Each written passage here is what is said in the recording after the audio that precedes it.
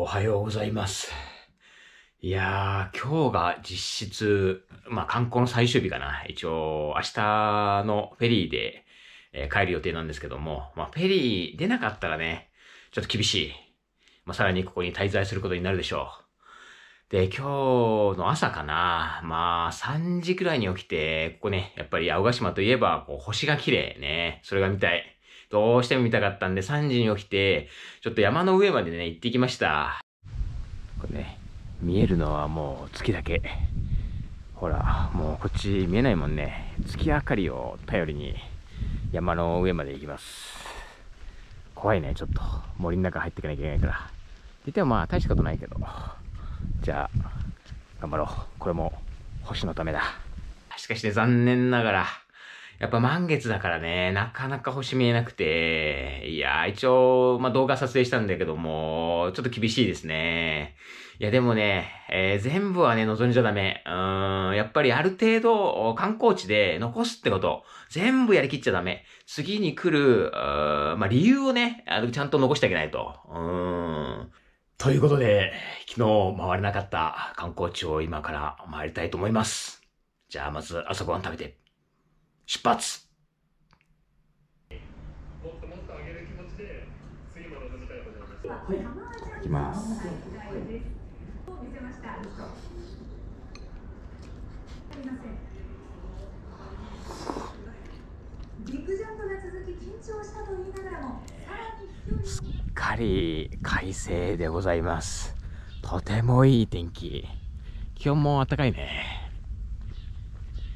今、だいたい9時ぐらいかな。いやー、朝のね、こう気持ちいい散歩だね。今から、まずは、あ寺だったり、えー神社をね、回りたいと思います。まあ、あるっちゃそりゃそうなんだけど、こう、この島の色、至るところにやっぱりお墓ありますな。ああ、ここすごい。見てください。もう、ここ海。あ、もうギリギリだけど、ここに八丈島見えます。うっすらね。やっぱ今日天気いいから、すごく綺麗。今日一番天気いいね。この墓は、まあ、佐々木次郎太夫の墓ですね。まあ、彼はね、あの、ここ、青ヶ島で生まれて、そして240年前、えーここで大噴火があったんです。で、やっぱりね、あのー大噴火の影響で、ここ無人島になってしまいました。この無人島にまた人々を呼び込んだのが、ここの佐々木次郎太夫ですね。まあ言ってみれば、ここの青ヶ島のこれ英雄なわけです。その方のこうお墓になります。綺麗な墓だね。まあ、青ヶ島のモーゼとも呼ばれね、えー50年以上費やしてこの青ヶ島を復興したという、彼いなかったら今の青ヶ島ありませんでしたね。もうこの火でわかるように、もうこの青ヶ島の英雄としてね、ここに君臨しております。お、ありましたな。先ほど私が言った佐々木次郎太夫ですね。その人の、まあ、あ建物のね、こう跡が見れるというところで、あ結構荒れ果ててる。おーもう、この絵だけだったら完全に森の中だよね。とてもこの先、あの、建物があったとは思えない、荒れっぷり。よし、もういきなり、すごいぞ。ええ道ないじゃん。もうほとんどね、周りは、あ草、草や木にね、囲まれております。この先に本当にあるんだろうか。もうこれも覆いかぶさっちゃった。ちょっとしゃがんでいかないと。よいしょよいしょ。あふうこれ隣完全に農家だね。もうここで牛とか飼ってる。あー、着きましたなこれすごく丸いな、これ。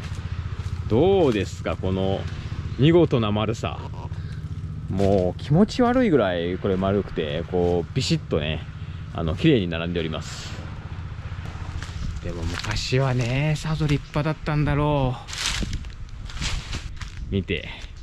この下から完全に根っこ生えてね、もう同化しております。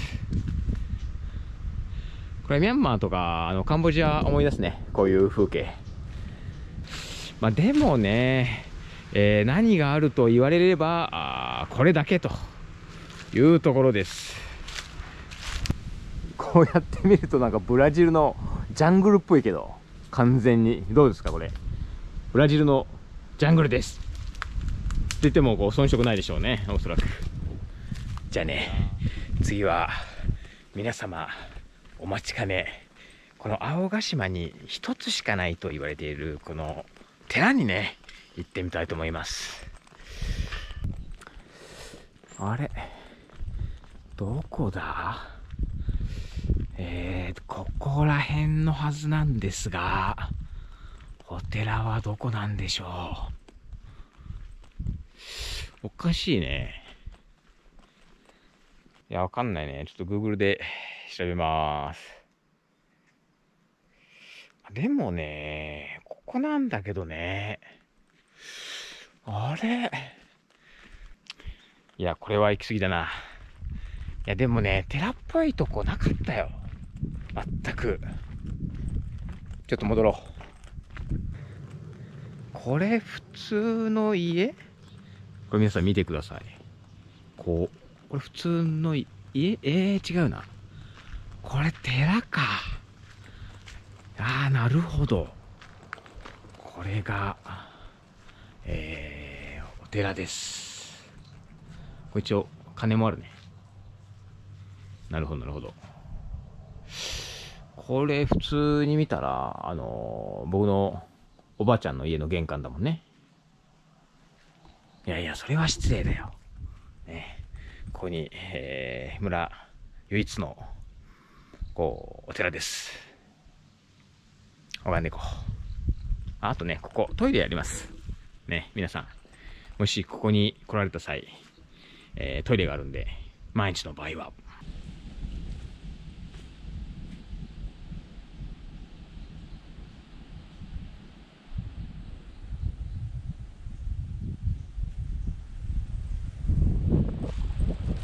いやー、よかったですな村唯一の、こう、お寺ね。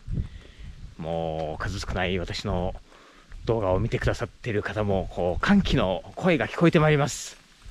唯一のお寺だぞーえ、素晴らしいお寺でした。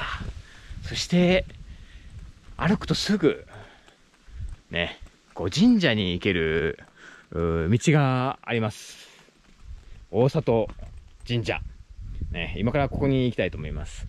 これもう、道路の脇からすぐ入れるっていう。またいつものようにね、この、生い茂った草木の中を行きますよ。これはもうね、あの青ヶ島では基本ですから、こういった、あの草木の中に入るっていうのは、これはもうね、驚き、驚きませんよ。これ普通ですもんね。うん。これはね、もう当たり前。むしろまだ下コンクリートだから、これ歩きやすい。完全にね、こうトレッキングと化してまいりました。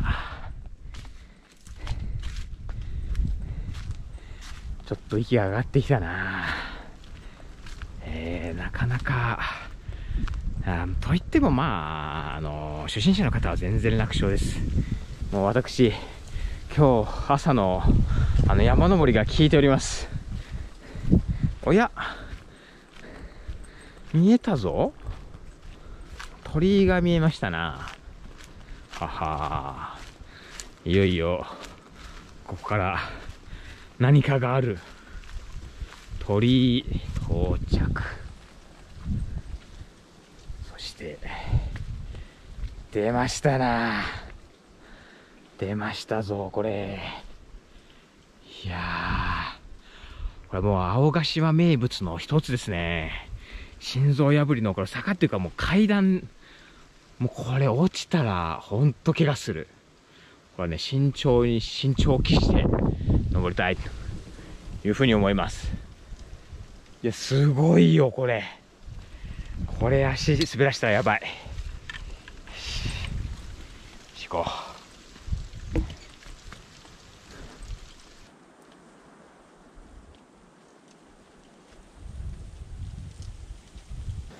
これもうね、荒れたい放題。まあ、こういうのが風情あっていいんだけど、でもこういうところにね、苔生えてるから、こういうところに足を置いちゃうと危ないね。あと、大きい石。こう大きい石に、こう、足置いていかないと。ちっちゃい石に足置くと滑るよ。これ危ない。いやもうこういったね、竹とかが遮って、よいしょ。いやいやいや、すごい。だいたいね、ざっくり、えーっと、45度ぐらいあるよ、これ、角度。で、ところどころによっては45度以上ある。かなり急な階段。これ自信のない人はね、やめといた方がいいですね。非常に危険な階段です。いや、こんな危険な階段、見たことないもんね。いや、ドキドキする。ほら、まだ、ちょっとここじゃ分かりづらいけど、すごい上あるよ。いや、怖え。怖え。いや、ちょっと休憩。まだある。ほら、もう、すごい上がってきました。もう、海見えるもんね。これ、転んで下まで行ったら終わりでしょう。こんな危険な神社ある？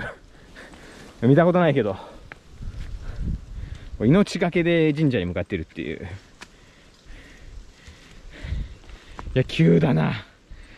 これ旅行の基本で、行きはよいよい帰り怖いっていうのがあるから。これ帰り恐ろしいことになるぞ。もう行きでこんなに厳しいんだもん。帰りどうやって降りるんだ？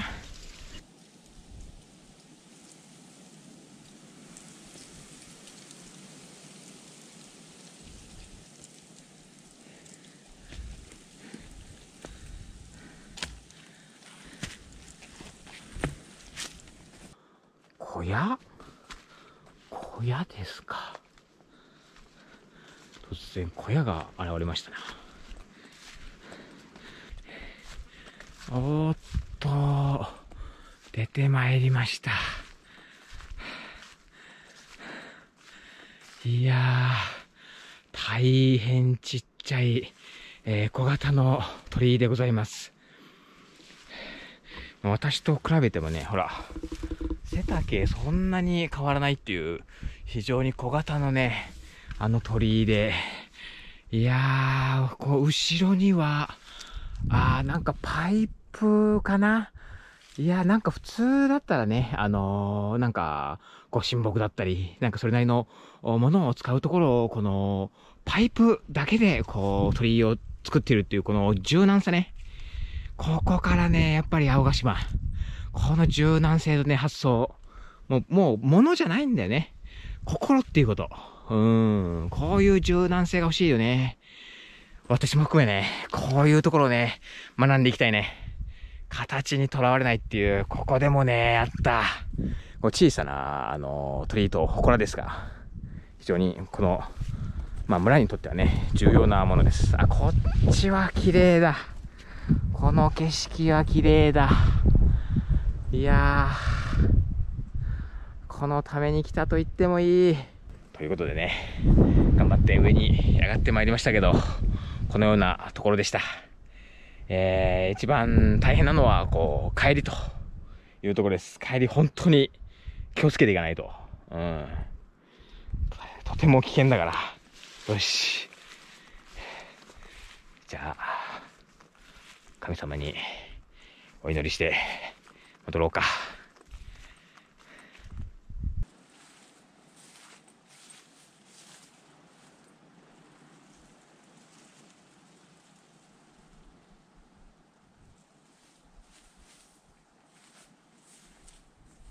いや、こんな高いとこからね、下らなきゃいけないっていう、大変厳しい状況ですね。じゃあ、もうちょっと下までね、えー頑張ります。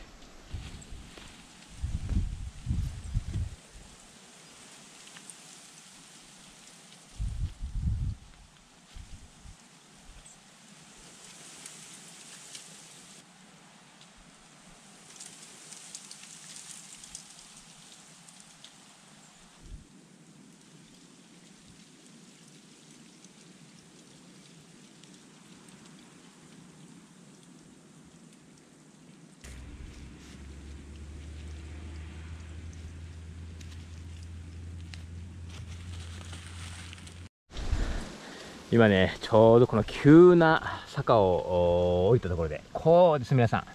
わかりますか？もう、これすごい坂でね。で、こっから少し緩やかになるっていう。まあ、緩やかって言ってもね、全然、あの油断できないレベル。まあ、落ちたら大怪我。なんで、ここもね、慎重に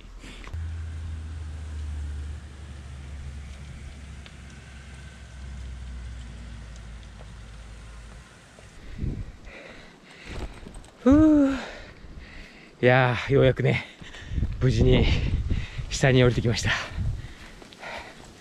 いやーなかなかアドベンチャーでしたな。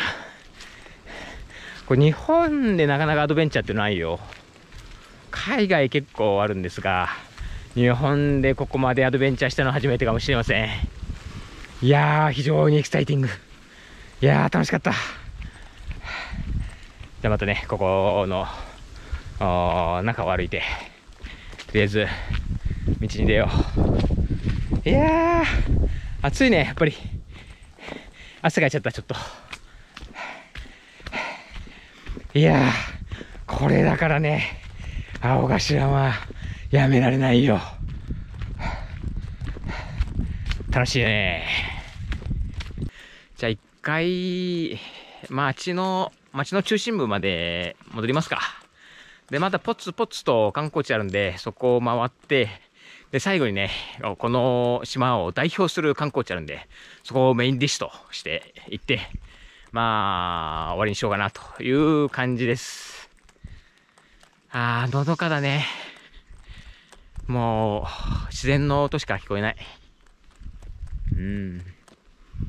もう、今日日曜日なんだけども、もう、現地の人がね、たまに通るだけです。ほら、もうちょっと見るとさ、こう海だもんね。これはたまらないよ。今日、ポカポカしてるし、最高だね。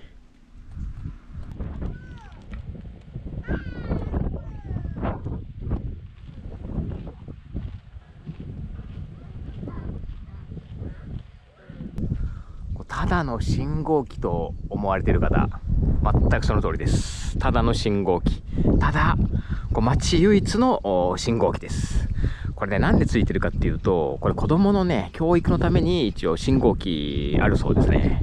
やっぱね、これね、なんだっていうのをね、こう子供たちに伝えていかないとね、わかんないんで、教育のためにやるっていうことですね。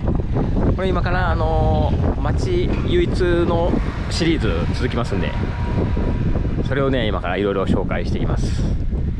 街に一つしかないシリーズです。さてさて、どんなものがあるんでしょうね。あ、こっちにあるの、あれですね、小学校。小学校あります、すぐ。青ヶ島小学校あります。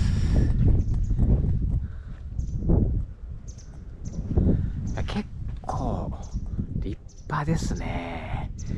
グラウンドもめちゃめちゃ綺麗だ。もう芝がすげえ綺麗。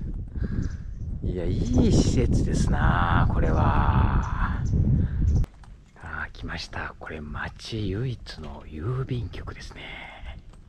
しかもポスト故障中と。ここの郵便局は、まああのこのね、村全体の、まあ、配達とかはもうしてるんですけども、この青ヶ島はね、あの、東京都、青ヶ島無番地ですね。番地がないんです。じゃあどうやって届けるか。それは人の名前で届けるそうです。えーなぜ人の名前でわかるかっていうと、この島の人ね、もう全員知り合いで、名前とかも全員知ってるんで、だから東京都青ヶ島無番地で名前で届くという、そんな感じのシステムですね。いやー、非常に面白い。唯一の郵便局。えー次、島唯一のシリーズはね、タバコ屋です。見てください。こんなところにタバコ屋が。えっと、店での販売営業時間はね、火曜日、土曜日の18時から19時っていう、まあ、2時間だけですね、1週間で。で、今年の4月、このね、自動販売機がね、もう使えなくなって、えーそこから、あこの人でのね、店頭販売に変わったようです。まあ、この主人がね、ここに座ってね、あのーまあ、売る感じになるんでしょうね。もう、一週間にね、2時間しかないからね、ここ、人並ぶらしいです。まあ、あと、知り合いとかにね、頼んでもらって、えーまあ、買ってきてもらったりね、まあ、してるみたいなんですけども、いや、一週間でね、2時間しかないっていう、だからみんな、カートンをね、あの、鬼買いするらしいです。もう、だから、あの、買える時に買うっていうスタイルでやっておりますね。ここの村の人たちは、あの、まあ、農家の方とかが多いんで、まあ、こういった空いた時間にね、あの、村の、村が回るように、まあ、こういったようなことをやってるとね、思われます。いや、大変面白いシステム。もう考えられないよね、もう。東京だったら。タバコを1週間のうちに2時間しか買えません、みたいな。いやー、これはね、面白いシステムです。大変興味深い。このメインストリートにはね、街唯一のガソリンスタンド。そして唯一の整備工場がありますね。車の。今、消防車が入ってるね。いや、そんなね、唯一のシリーズでした。綺麗ですな。海をバックに、この道を歩くのが一番好きです。気持ちいい。ここ今ね、メインストリートですね。今日はもう晴れ渡って大変気持ちのいい日になっております。もうこういったところを歩くだけでも楽しい。気持ちいいね、本当にもう。この島、だいたい周囲9キロなんだけども、まあ、それにね、収まらない、この、迫力があるね。これだけじゃ収まらないって、青ヶ島は。皆さん、これ来たらね、わかりますよ。もう、静かなね、島です。本当に静か。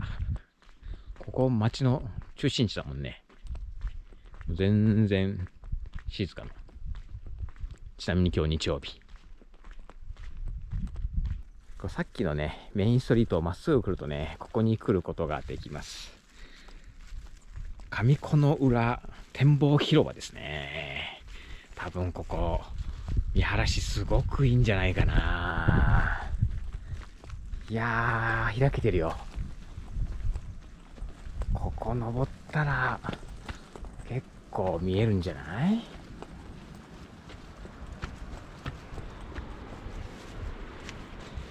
ああ、ここ、望遠鏡ありますね。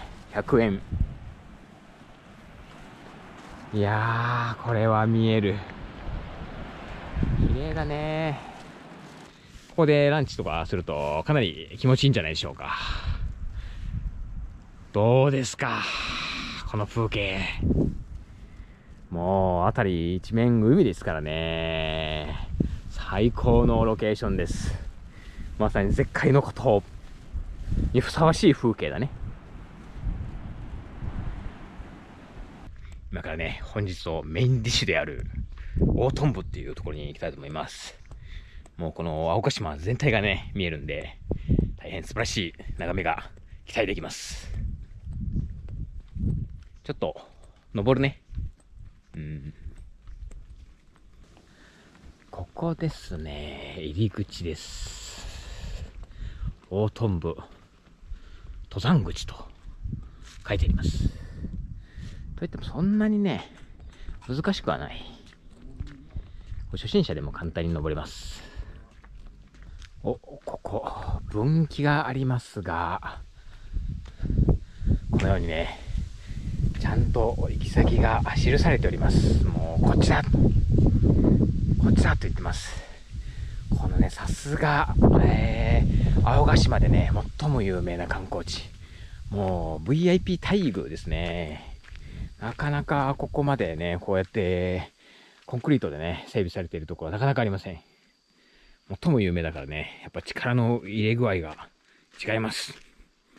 と言いたいところだけども、早くも、あのーこれね、草にまみれてしまいましたが、やはり、あのいつものように、この草むらの中を歩かなきゃいけないっていうパターンだね。で、まあ、ここね、最も有名ですから、皆さん、青ヶ島に来たら、ここだけは、ここだけは来なきゃいけないっていう場所です。あー、書いてありますね。こっちね、あの違うところ行けるんで、これ後から行きます。あー、やっぱり目印ね、書いてある。さすが。大トンブとね、もう、さすがです。では、じゃんじゃん進んでいきましょう。もう、難しくありません。もう、15分、20分でね、サクッと上まで行ける感じです。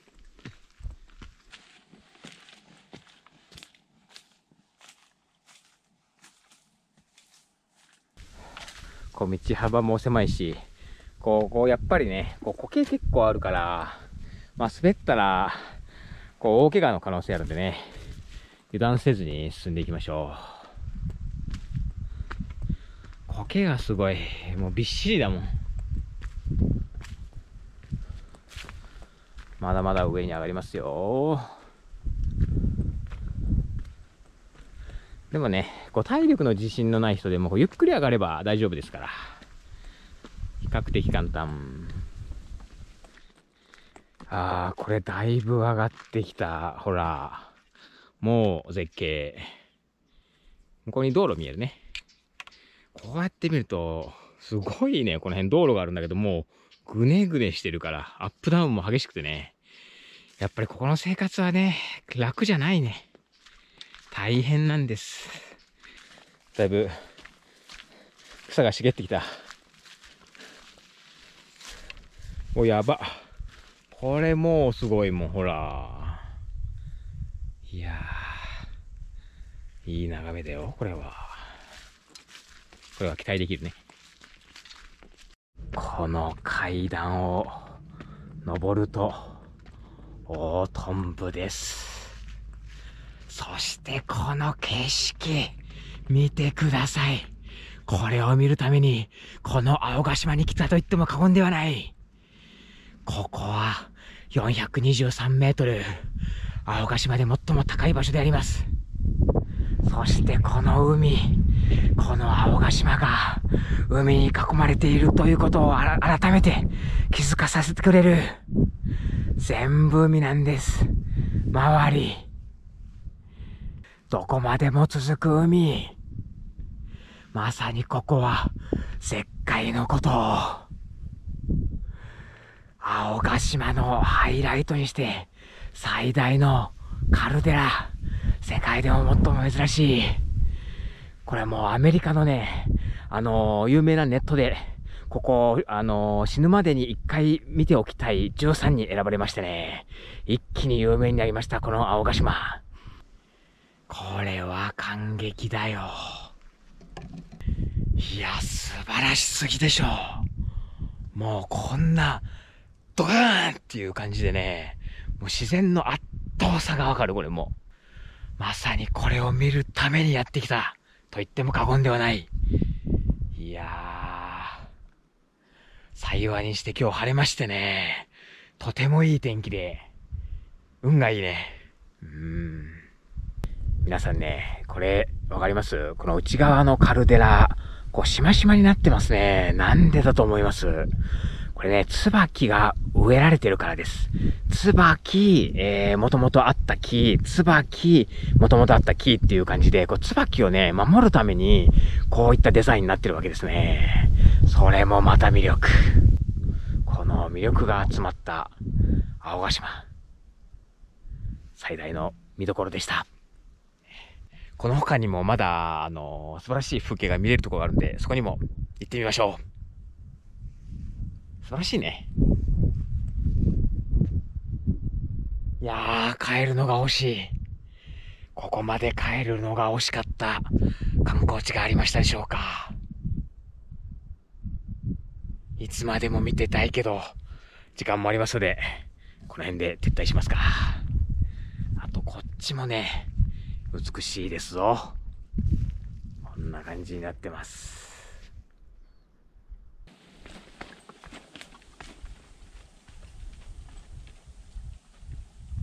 戻ってきました。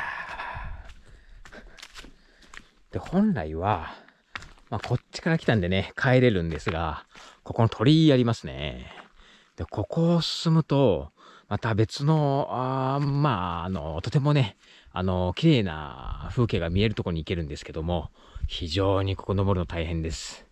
他にね、行き道が実はあって、あの、こうやってね、ぐるーって、こう、迂回できるんですね、実は。なんで、あの、迂回した方がおすすめです。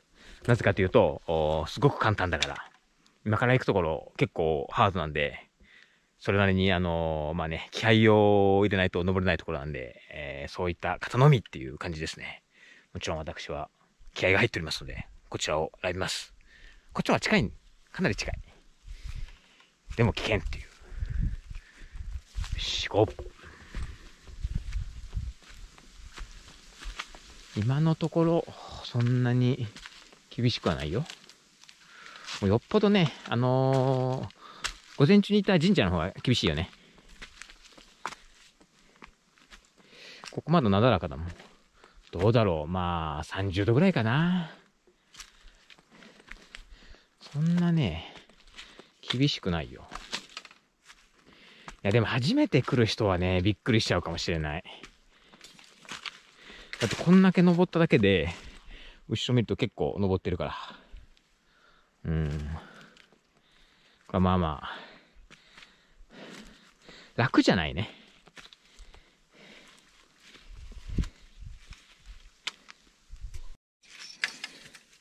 まあ今のところ、午前中登った、まああの、きついね、あの、階段、神社の、あれを10とすると、まあ6とかかな。そこまでね、足を、あまあ、あ気をつけるとか、足の踏み場がないとか、注意が必要だってことはね、多少あるけども、そんなに気にしなくても登れるね。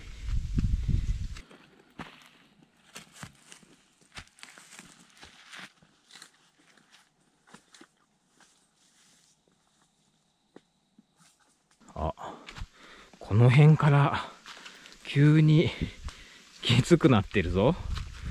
ちょっと危なくなってきたね。この辺、あの、足場も少なくなってきて、足の踏み場少なくなってきて、急になってきた。いや、これ結構急だぞ。いやー、なるほど。これはまあまあ危険です。こっから。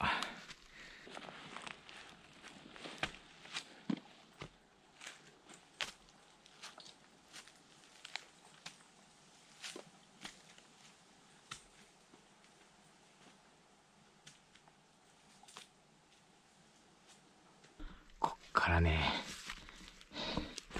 これ、だいぶ上がってきたけど、まだここある。結構急しかも。わかります？こんな感じで急ですよ。これ。もう結構あるね。50度ぐらいあるのかなやばい。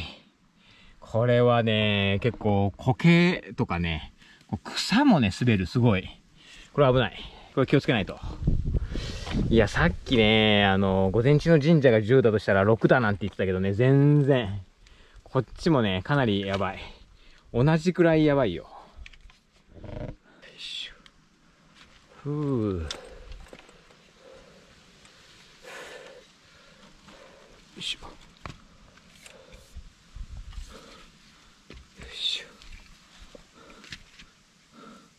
い。え？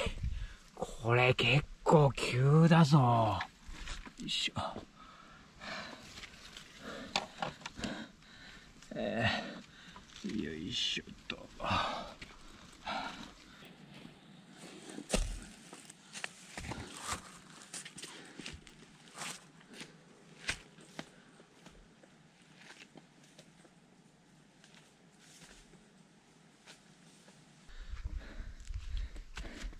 結構。怖え。下見るのめっちゃ怖えやん。こっちの方が高さあるって。こう岩ね。岩はあの傾き加減によっていい悪いを選ばなきゃいけない。あの滑りそうな傾きしてるのはダメだね。上向いてるやつ。足がちゃんと引っかかるやつを選んでちゃんと登らないと。すげえ。草むらまみれで、こっちで合ってんのかって心配になっちゃうよ。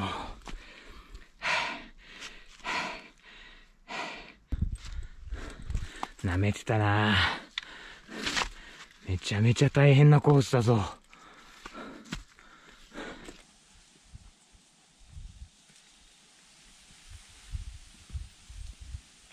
ふう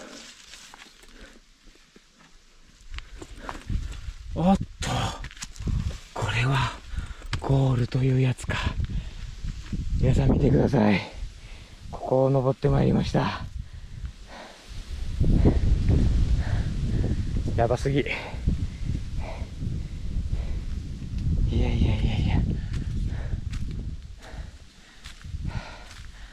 あ廃墟っぽいのがあるな。廃墟があって。ああ、こっちこっち。ああ、ありました。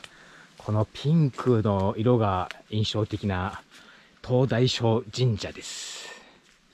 なんでも、失恋の腹いせで、まあ、人々をね、殺害して、その後自分も自殺したという男の魂を鎮めるためにね、建設されたそうです。いやー、これは、色がね、とても珍しい神社にしてはね、こんなピンクで、屋根もピンクです。いやー、感慨深い神社だね。あー、こっちにも、いろいろ祠だったりある。あー、出ました、これ。もう柔軟な対応がされた、おそらく、この鳥居的な、もう完全にパイプですね。こういうのね、大好きです。あ、かわいい、かわいい、かわいい鳥居あるね。いやー、もう、人っ子一人いません。あっちこっちに、このパイプで作った鳥居が放置されております。結構、荒れてますね、これは。じゃあ最後にお参りだけしていきましょうか。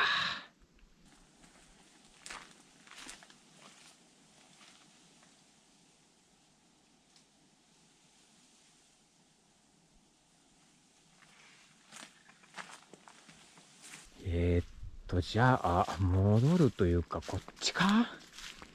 この細いところかな？ここね、今こっちから来たところで、こっちに行くのかな？この細い道。こっちかな？あー、見えましたないやー、突然開けた。いや、すごい。ここ全体見えるね。こっち側はね、二重カルデラ。で、こっちにカメラを向けると、まあ、街のね、北側が見えるわけです。いや、でも風が急に強くなってきた。もう天気も打って変わって曇りになっちゃってね。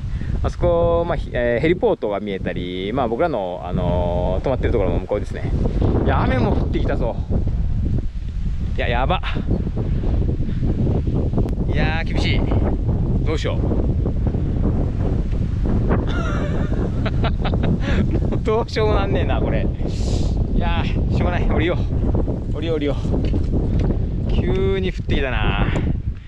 いやいやいやいやいや。あまた。ちょっと止まった。今のうち。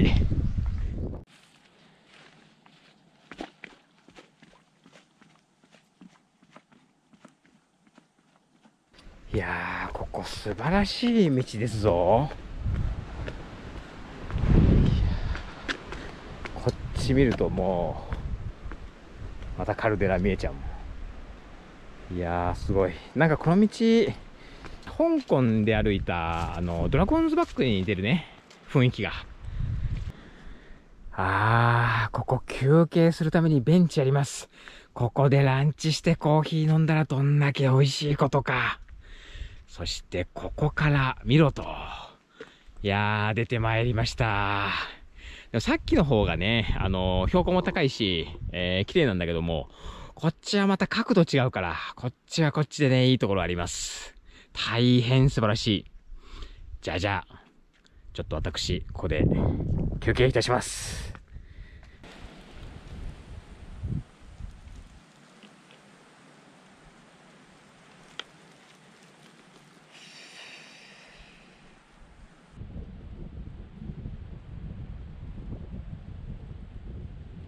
じゃあ休憩もしたんで帰りますか。こっちの道は幾分楽ですぞ。もう全然楽勝だね。やっぱこっちの道がいいね。あのー景色も綺麗だし。さっきの道はね、おすすめできません。ただただきつくて危ないだけっていう。いや、すごいね、ここも。いやはや。いやー、これは見える、ここも。ここも見える。こっち側を見ると、二重カルデラが、そして反対側を見ると、町の北側が、素晴らしい。非常に寒くなってまいりました。戻りましょう。寒い。寒いっす。こっちはちゃんと整備されてる階段だね。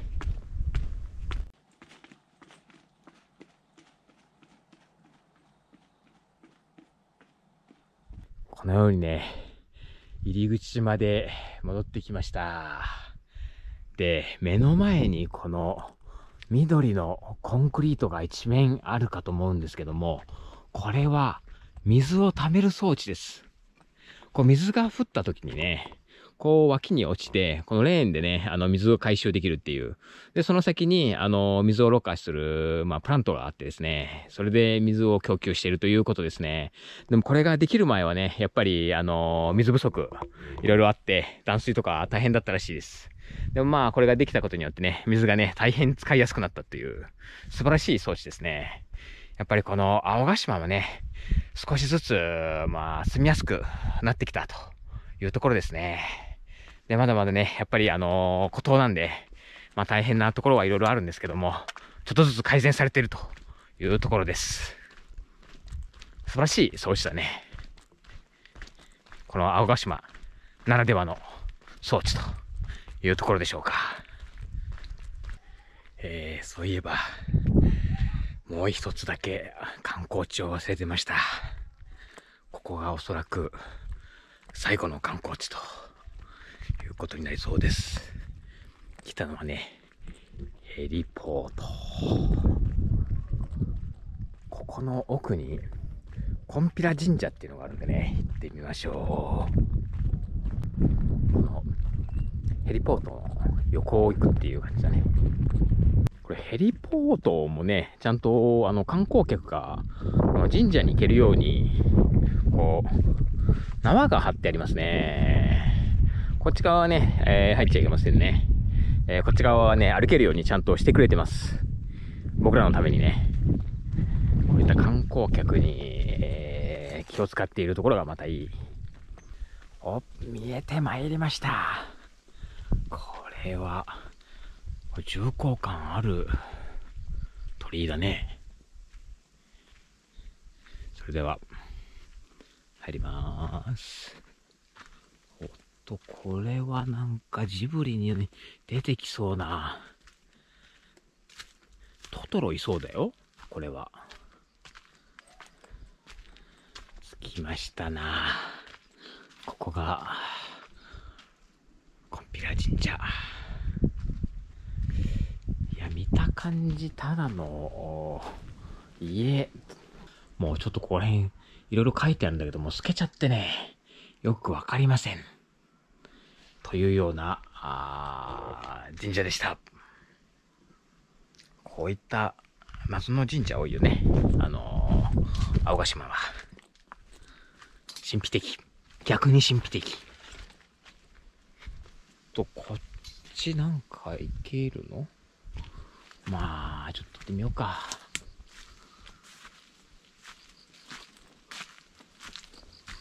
おやおや、何があるんだ？これは。これは？ほこらですな。いや、もう苔がびっしりついております。まだ奥に続いてんな。え？何があるんだ？でもまあ人を通った後あるからね。あ、ここも、ほこらが。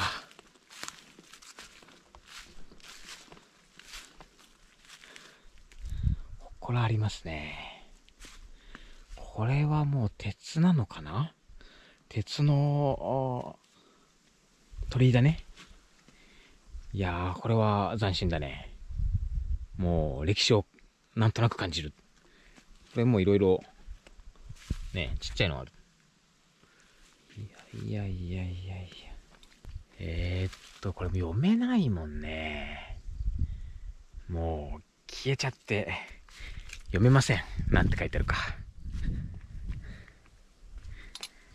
以上が、コンピラ神社でした。ということで、戻りまーす。ヘリポートにね、戻ってきました。これヘリポートから見る、この海も、これは捨てたもんじゃないよ。どう？ほら、綺麗なんですなまあ、どこ撮ってもね、ここは綺麗です。いやー、疲れた。もう、今日本当に、マジでずっと歩きっぱなしだったんで、めちゃ疲れました。帰ろう。もう大体、主要な場所は回った。これはもう行くとこないよ。がっつりね、もうこの青ヶ島を回りました。と言っていいでしょう。もう行くとこはないよ。休憩して、ご飯食べて、明日、帰れたら帰ろう。無事にね、帰ってまいりました。もう今日結構歩いた上にアップダウンが激しかったから、足の裏めっちゃ痛い。すげえ痛いぞ。まあね、しかし、しかしまあいろんなとこに来たんで、もう大満足です。あとは、明日、無事帰れるのをね、祈るだけと。もうフェリー次第なんで、もうそこだけです。あとは、ご飯食べて、さっさと寝よう。今日疲れたね。昨日やっぱ星夜ね、夜中見に行ったんで、寝不足。寝不足。早く寝よう今日。ということで今日は、こんな感じで、ひとまず、終了と